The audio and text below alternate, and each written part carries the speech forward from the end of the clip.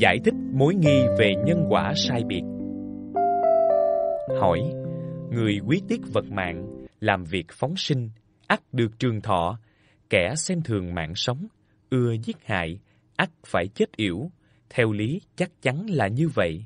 Nhưng sao vẫn thấy có những người quý tiết vật mạng mà chết yểu, lại có người ưa giết hại mà sống lâu? Đáp, quả báo có ba loại. Đối với việc làm trong đời này, thứ nhất là có thể ngay trong đời này chịu quả báo, hiện báo. Thứ hai là có thể qua đời tiếp theo chịu quả báo, sinh báo. Thứ ba là có thể trải qua nhiều đời sau nữa mới chịu quả báo, hậu báo. Người quý tiết vật mạng mà chết yểu, đó là do oan nghiệt đã tạo từ đời trước. Nếu không biết quý tiết vật mạng, ắt còn chết sớm hơn nữa. Người ưa thích giết hại mà được sống lâu, đó là nhờ phước báo đời trước. Nếu không giết hại, ắt còn được sống lâu hơn nữa. Hỏi, tôi thấy có người nọ, người kia đã từng làm việc phóng sinh. Giữ giới, không giết hại, còn tụng kinh, trì chú nữa, nhưng đến nay không thấy chút báo ứng gì. Vì sao vậy? Đáp, quả báo có nhanh, có chậm, còn phải xem duyên đã chín mùi hay chưa. Nếu duyên chưa đến mà mong được báo ứng ngay. Khác nào như chỉ vừa gieo giống xuống, lại mong được thu hoạch lúa thóc ngay. Huống chi đời người rất dễ dàng gặp phải những mối nguy như oan ức cửa quan, hỏa hoạn, trộm cướp, bệnh tật. Nếu ngày nay không mắc vào những tai nạn ấy thì đã là phước báo rồi, sao có thể biết được lại không có những sự âm thầm giúp đỡ bảo vệ nhờ nơi sự tu tập ấy hay sao? Hỏi, quả báo ngay trước mắt trong đời này thì người ta mới biết sợ. Quả báo chậm lại đến đời sau thì mơ hồ khó biết. Vì sao trời không bắt người ta phải nhanh chóng chịu quả báo ngay trong đời này? Đáp Quả báo nhanh hay chậm là do nghiệp báo của chính người đó chiêu cảm. Người hiền thiện mà nghiệp ác trước đây đã đến, thì quả thiện không thể đến trước. Người xấu ác mà phước báo đời trước đã đến, thì quả ác cũng không thể đến trước. Cũng giống như người làm vườn đã trồng đào trước. Trồng mận sau, dù có khéo chăm sóc thế nào, cũng không thể làm cho mận ra quả trước đào. Nếu cứ nhất định đợi thấy được quả báo ngay trước mắt, rồi mới tin nhân quả, thì thật là quá sức mê muội. Hỏi, tôi thấy có người kia, lúc chưa làm việc tu tích phước đức, thì cầu gì được nấy. Từ sau khi biết tu thiện tích phước, thì làm gì cũng gặp khó khăn trở ngại. Lẽ nào nghiệp báo như thế chỉ là chuyện ngẫu nhiên mà đến? Đáp, không thể cho là ngẫu nhiên được. Việc như thế, ắt là do đời trước đã tạo nghiệp ác, theo lẽ phải chịu quả báo nặng nề. Chính nhờ việc tu thiện tích phước nên đã chuyển nặng thành nhẹ, chỉ gặp phải những trở ngại khó khăn trong công việc mà thôi. Cũng giống như người phạm tội tử hình, đến mùa đông sẽ mang ra hành hình, nhưng chưa đến lúc ấy thì được người có uy thế quyền lực xin tha cho, nhờ vậy chỉ bị phạt đánh bằng trượng rồi thả ra. Hỏi, bố thí được giàu có, keo kiệt phải nghèo cùng, điều đó tất nhiên không cần phải bàn nhưng nay lại thấy người ưa thích bố thí, đa số thường nghèo khốn, còn những nhà giàu có thì đa phần keo lận tham lam. Vì sao lại như thế? Đáp Người sống trong hoàn cảnh trái nghịch, ắt phải nảy sinh sự suy nghiệm, nhờ suy nghiệm, ắt khởi tâm hiền thiện. Người sống trong hoàn cảnh thuận lợi, ắt được vui vẻ, ham vui thì không khởi được tâm hiền thiện, không có tâm thiện, ắt tâm ác khởi sinh những điều như thế đều là lẽ tự nhiên. Huống chi trong chốn luân hồi nhân quả hổ tương qua lại, cao thấp thay đổi, người nghèo khó nếu tham lam keo kiệt thì đời sau lại càng nghèo hơn. Người giàu có nếu chịu làm việc bố thí thì đời sau càng giàu hơn nữa. Sự khác biệt giàu nghèo lại càng rất lớn.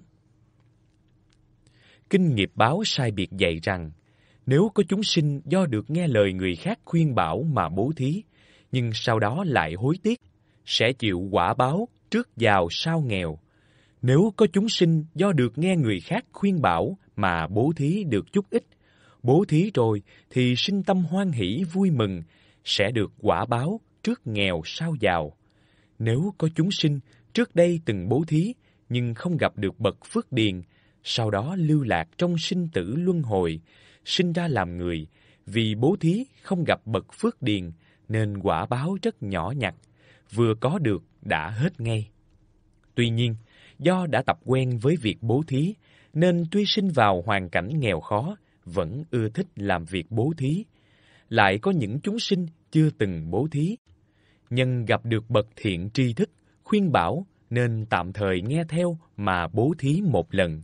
Lại gặp được bậc phước điền, do đó được quả báo sinh ra trong hoàn cảnh đầy đủ sung túc. Tuy nhiên, vì không thường làm việc bố thí, nên người như vậy sẽ giàu có mà tâm thường keo kiệt. Hỏi, những kẻ giết hại vật mạng khiến cho loài vật mẹ con chia lìa, lẽ ra phải chịu quả báo không con nối dõi. Nhưng những người đánh cá tạo nghiệp ác hết sức nặng nề, vì sao thường thấy con cháu rất đông đúc? Đáp, người đời sinh con cái, có khi là do phúc đức mà được, cũng có khi do oan nghiệt mà thành. Người đánh cá vì mưu sinh mà giết hại rất nhiều, nên do nghiệp lực chiêu cảm mà có nhiều quyến thuộc xấu ác, chẳng qua để phân chia miếng cơm manh áo, khiến cho họ phải khổ nhọc sớm tối, vẫn không đủ nuôi dưỡng, cho nên con cái càng nhiều, khổ lụy càng nặng. Ông không thấy như các loài dê, chó, gà, lợn đều sinh sản rất nhiều, trong khi chư thiên chẳng bao giờ sinh sản đó sao? Ông nên suy nghĩ cho kỹ về điều đó. Hỏi, người ta sống ở đời nên theo học đạo lớn của Thánh Hiền. Trên báo đền ơn nước, dưới lợi lạc muôn dân, như thế mới có thể gọi là đáng quý. Còn như thuyết nhân quả đó, thì đâu có liên quan gì đến việc đời hay lòng người. Đáp, lý nhân quả cũng chính là đạo của Thánh Hiền đó thôi. Kinh thư nói rằng, người làm việc thiện, ban xuống điều lành, người làm việc ác, ban xuống tai ương. Làm việc thiện hay làm việc ác, đó là nhân. Ban xuống điều lành hay ban xuống tai ương, đó là quả. Kinh dịch thì gọi là lành, dữ, cát hung, tiêu mất hay tăng trưởng, tiêu trưởng. Thiên hồng phạm trong kinh thư thì gọi là năm phước lành, ngũ phúc, sáu khổ nạn, lục cực. Thiên vô vật trong kinh thư thì gọi là sống lâu, thọ hay chết sớm, yểu. Trong Phật giáo gọi là nhân quả, thực ra cũng chỉ là cùng một nguyên lý mà thôi. Chúng sinh thời suy mạc thường buông thả làm theo các nghiệp xấu ác, không sợ luật pháp, không quan tâm đến liêm sĩ, nhưng cũng có lúc đêm khuya thanh vắng, chợt suy nghĩ lại, trong lòng thấp thỏm lo sợ về lẽ nhân quả mà không dám làm chuyện xấu ác nữa, chỉ vì sợ rằng sau khi chết sẽ phải chịu quả báo.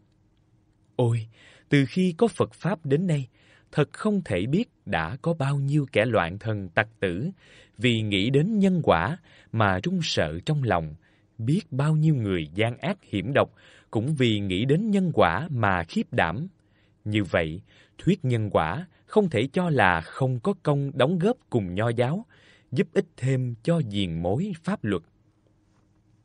Nếu cho rằng việc thiện, việc ác đều không có quả báo, sau khi chết không có chuyện phải thọ nhận hình phạt, ắt người đời chẳng có việc gì phải né tránh kiên sợ.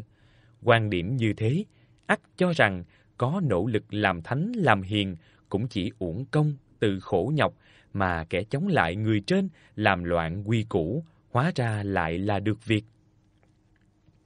Như vậy làm sao người trong thiên hạ lại không về hùa theo những kẻ phản loạn? Tuy nhiên, người đời nay bàn luận đến đạo lý thánh hiền, liền cho rằng không đề cập đến nhân quả mới là cao siêu, ý muốn khác biệt hoàn toàn với đạo giáo và Phật giáo. Những kẻ như thế chỉ là tham muốn hư danh, kỳ thật đối với đạo lớn của thánh hiền thì dù nằm mơ cũng chưa thấy được chút gì. Đời Tấn, vào niên hiệu Vĩnh Gia năm thứ tư, Cao Tăng Ấn Độ là ngài Phật Đồ Trừng đến Lạc Dương, thấy Thạch lạc là người hiếu sát nên tìm đến muốn giáo hóa. Thạch lạc hỏi, Đạo Phật có những gì linh nghiệm? Ngài biết Thạch lạc chưa hiểu gì về giáo lý Đạo Phật, nên trước hết liền hiển lộ thần thông để nhiếp phục. Ngài cầm trên tay một bát nước, đốt hương niệm chú dây lát, liền bỗng nhiên hóa sinh trong bát một đóa hoa sen xanh. Thạch Lạc nhân đó tinh phục. Từ đó, mỗi khi có người bị tội chết, Ngài liền đem việc nhân quả báo ứng mà giảng bày cho Thạch Lạc, nhờ đó có rất nhiều người được cứu thoát. Lại như vào thời Nam Bắc Triều, Chu Ngung thấy Minh Đế của nhà Lưu Tống thường giết hại nhiều người tàn nhẫn, nhưng không dám trực tiếp khuyên can, liền tụng đọc các đoạn kinh nói về tội phúc, nhân duyên cho ông ta nghe. Minh Đế nghe qua, rồi có sự thay đổi hối cải. Ôi, không dùng phần thưởng mà khuyến khích được người, không nổi giận mà vẫn đầy uy vũ, giúp người dân tự nhiên mỗi ngày hướng về điều thiện mà không cần biết do ai dẫn dắt. Đó là những điều tôi thấy được khi nhìn vào giáo pháp của Đức Như Lai.